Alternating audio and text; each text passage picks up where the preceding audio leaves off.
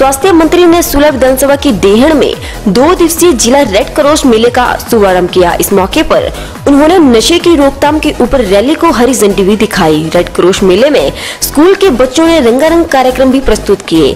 अपने संबोधन में स्वास्थ्य मंत्री विपिन सिंह परमार ने कहा की पालमपुर में अन्नपूर्णा योजना शुरू की गई है। अब हम उस अन्नपूर्णा सोसाइटी के माध्यम से पाँच लाख रुपए से हिमाचल प्रदेश के लोगों को मुफ़्त इलाज करवा रहे हैं। परमार ने कहा कि आने वाले दिनों में दो डायग्नोस्टिक वैन भी लगा रहे हैं जो अन्नपूर्ण सोसाइटी के साथ जुड़ेगी, जो लोग अभी भी अपना इलाज करवाने में कई बार पालमपुर, थुरल पहुँच जाते हैं। वे बैन गाँव गाँव में जाएगी। हम निश्चित करेंगे कि ये बैन किस दिन कहाँ जाएगी और इस तरह कैंप हर गाँव में लगाए जाएँगे।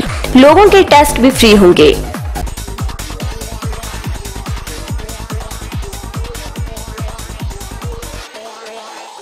बेहन धर्मशाला में शीतकालीन सत्र को लेकर स्वास्थ्य मंत्री विपिन सिंह परमार ने कहा कि शीतकालीन विधानसभा क्षेत्र में हिमाचल प्रदेश के विकास के लिए बहुत से विषय आएँगे।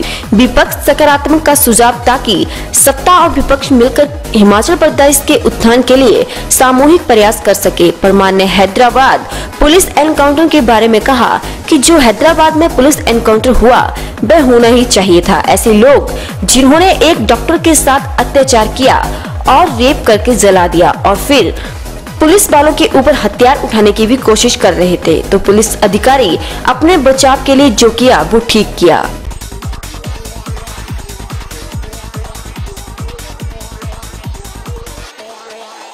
प्रदेश विधानसभा अध्यक्ष डॉक्टर राजीव बिंदल ने कहा कि कनाडा और अमेरिका के लोगों ने हमारे ई विधान मॉडल की सराहना की है। हमारा ई विधान मॉडल बेहतरीन काम कर रहा है। डॉक्टर बिंदल ने कहा कि वर्ष 2014 और 15 में पूर्व अध्यक्ष बीवीएल बुटेल ने ई विधान को आगे बढ़ाया। ई विधान के मामले में हम देश में हिमाचल का स्थान बनाने में कामयाब हुए हैं। लोकसभा हो, राज्यसभा हो, असम हो या उड़ीसा और दक्षिण भारत के राज्यों ने हिमाचल के ई विधान मॉडल को स्वीकारा है।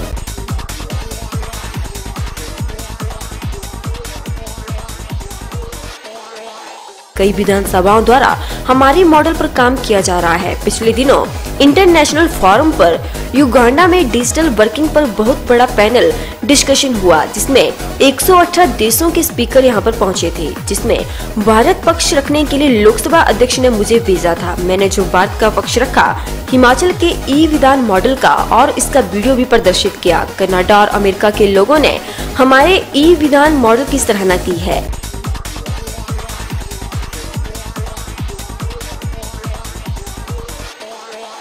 ई विधान मॉडल बेहतरीन काम भी कर रहा है। ई कमेटी को हम लागू कर चुके हैं। जो भी कमेटियाँ, जो भी कमेटियों की बैठक हो रही है, वो बिना फाइलों के ही हो रही है। उन्होंने कहा कि कमेटी का बिज़नेस वर्ष 2013 से 2019 तक डिजिटली अपलोड कर दिया है। विधायक अधिकारी और सरकार के लिए उसको फॉलो करना आसान हो गया है। जिला स्तर पर कार्यरत एनआईसी के अधिकारियों को ई कॉन्सिक्वेंसी के साथ जोड़ा है?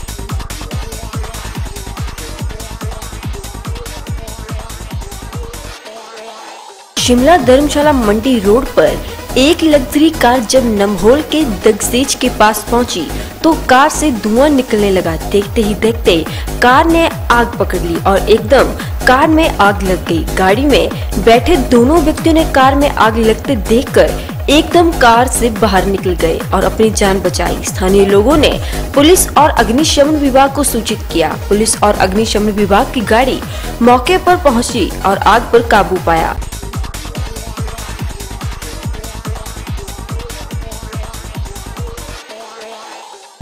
गाड़ी पूरी तरह से आग की चपेट में आ गई है। गाड़ी का नंबर एच पी तीन एक वी नौ दो पाँच ज़ीरो बताया जा रहा है, जो शिमला जा रहे थे। गाड़ी के मालिक सुखविंदर ने बताया कि अचानक गाड़ी में आग लग गई, जिससे मैंने और मेरे साथ बैठे व्यक्ति ने एकदम कार से उतरकर अपनी जान बचाई है।